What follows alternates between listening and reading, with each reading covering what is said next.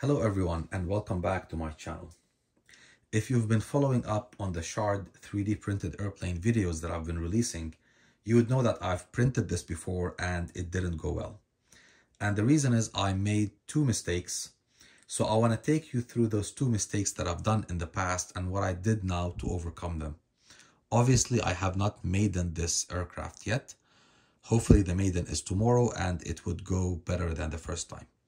So let's go ahead and start. The first issue with this airplane is the motor mount right here. And if you, when you purchase this airplane and you download the manual, the designer would state that you need to print the motor mount out of PLA or tough PLA, which is a big error.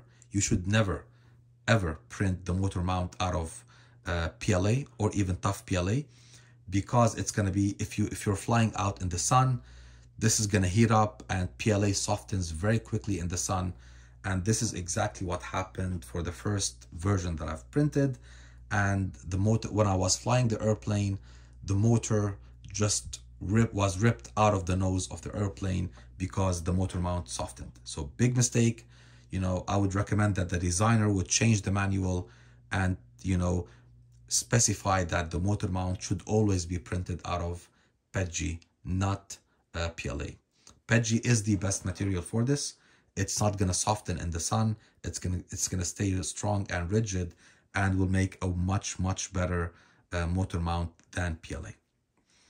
Uh, the second uh, issue that I did last time was I printed the fuse, the wings, uh, the tail, and the horizontal stabilizer out of dark low weight PLA, which was a mistake.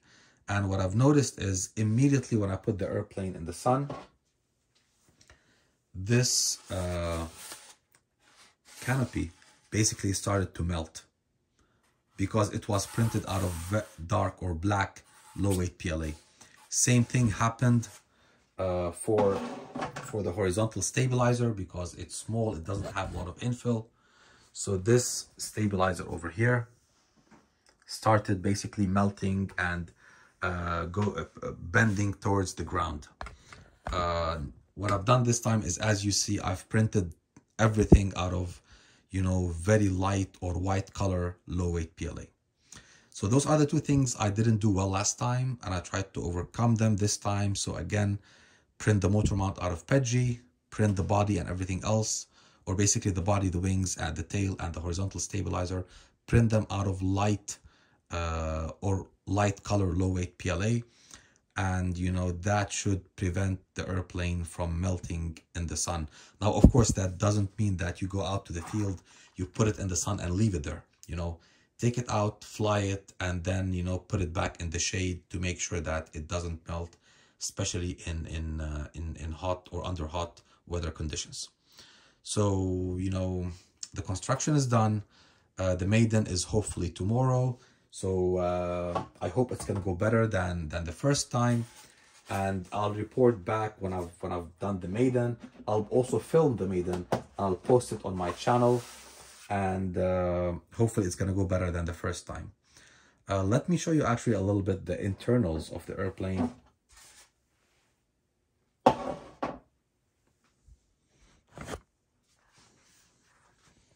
So as you can see, this is the motor mount here and then you have fins here on the right and the left hand side. Those fins basically uh, the purpose behind them is to cool the engine. So as air is flowing inside it's directed towards the motor or the engine and it cools it down. And then looking inside you have the battery mount.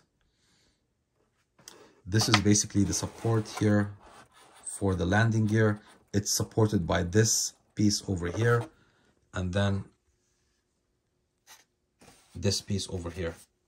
And then uh, carbon fiber spars go through both of pieces both of those two pieces and then they they connect to the landing gear. Going further to the back you have this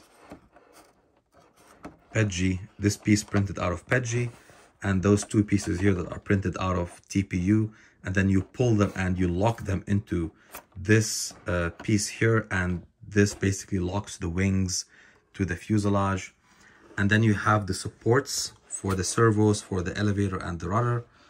Uh, again, I printed them out of PETG. And then also you have 3D prints for the servo arms here.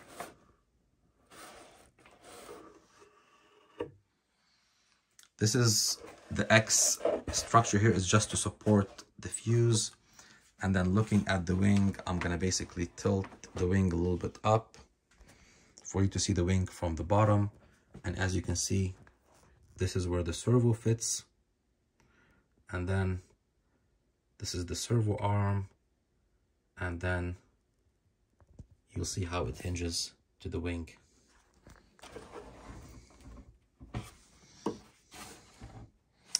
So again, maiden is hopefully tomorrow. And I'm gonna basically post the maiden flight on my channel and hopefully everything goes well. Thank you for watching. If you've liked this video, please click on like and subscribe. Uh, have a lovely evening, everybody.